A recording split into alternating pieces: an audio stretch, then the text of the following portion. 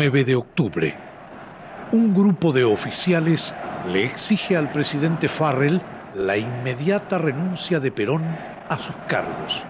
11 de octubre. Perón es detenido y enviado a la isla Martín García.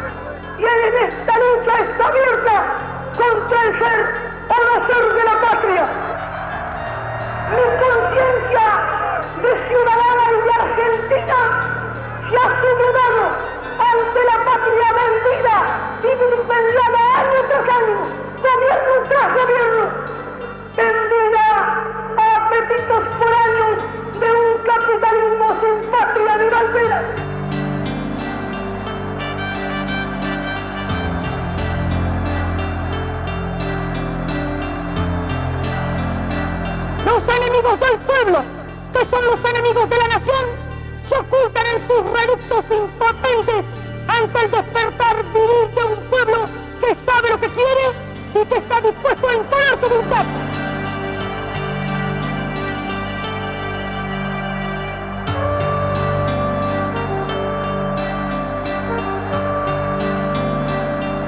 Vivimos épocas heroicas y no de cobardes ni de vende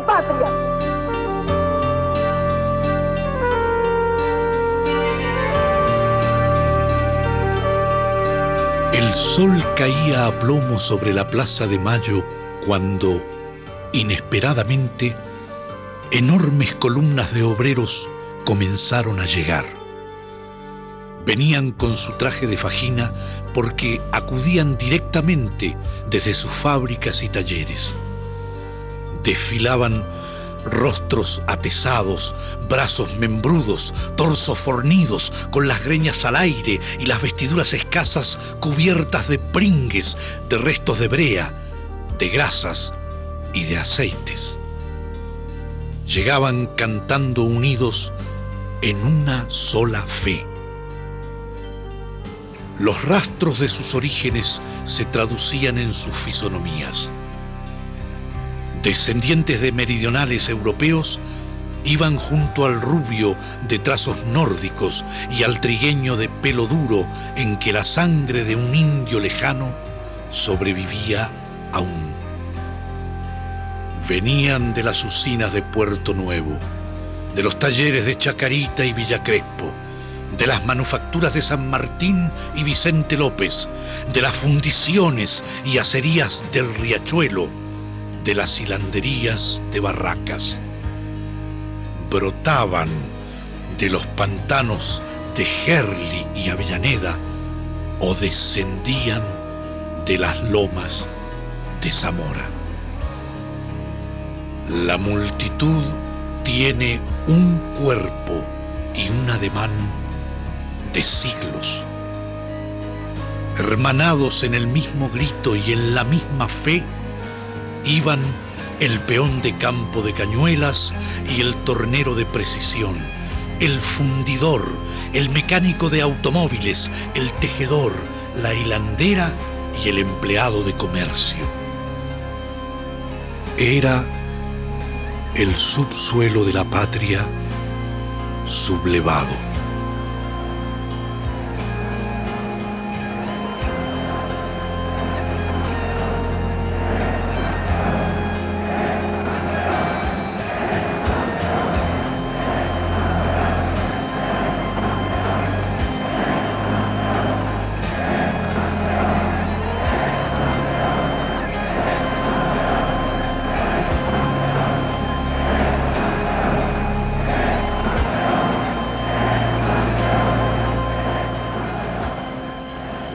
A buscar al hospital militar, me llevaron a la casa del gobierno.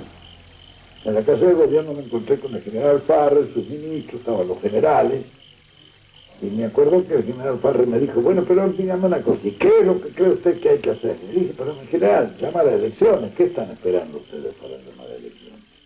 El general Farre estuvo totalmente de acuerdo conmigo, y entonces él nomás allí me dijo, bueno, perfectamente, llamamos a elecciones. Llamamos, dice, miró así un poco al costado, dijo, llamamos en tres meses. Uno de atrás le dijo, no, los padrones, que yo, bueno, ¿cuánto? Dijo esto, seis meses. En seis meses a elecciones, dijo Juan. Yo me paré y le dije, bueno, mi general, palabra de honor, palabra de honor, nos dimos la mano. Y, bueno, le digo, me voy. Entonces dijo, déjese de embromar, venga, estos locos nos van a quemar la casa de gobierno, salga al balcón y háblele para que se vaya. Bueno, efectivamente, salí al balcón. Cuando llegué al balcón, y con todo el ajetreo del día, yo ni sabía lo que les iba a decir a, hacía como un millón de personas en la plaza.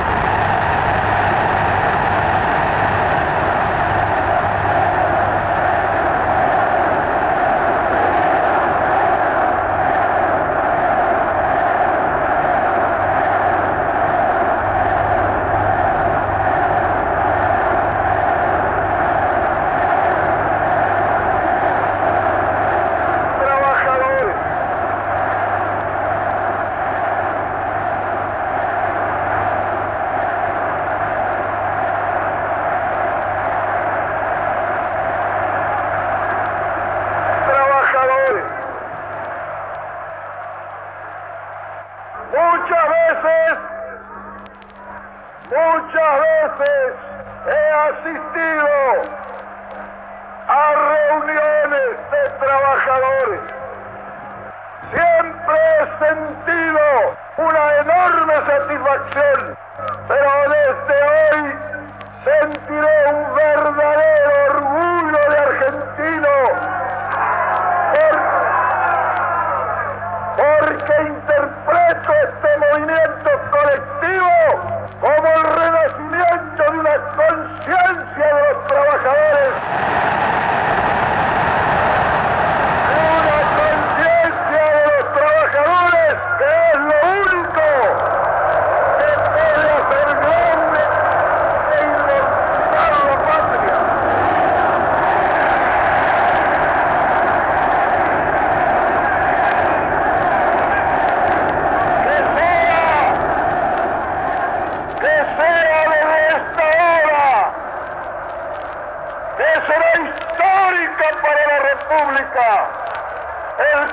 Coronel Perón, un vínculo,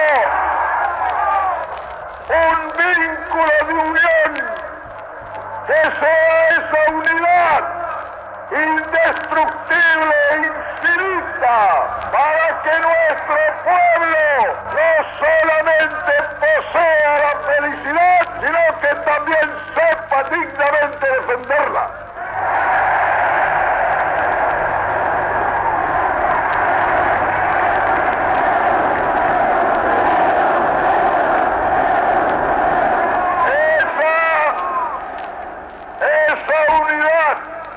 La sentimos los verdaderos patriotas, porque al amar a la patria, no amaremos sus campos o sus casas, amaremos a nuestros hermanos de nación.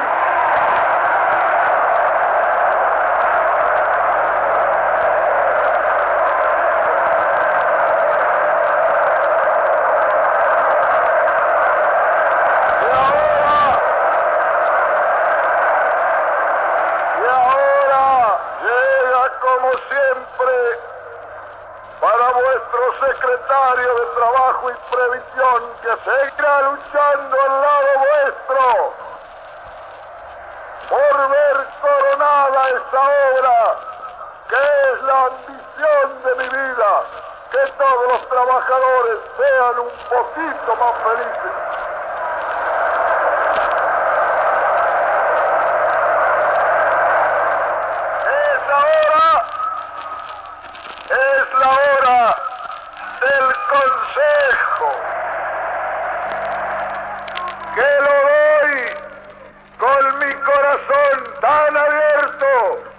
Puede presentarse a una cosa que uno tanto ama, el pueblo.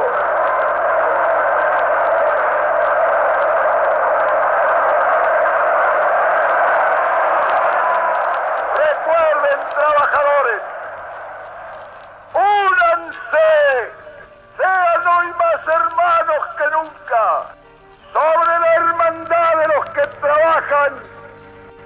levantarse esta hermosa patria la unidad de todos los argentinos.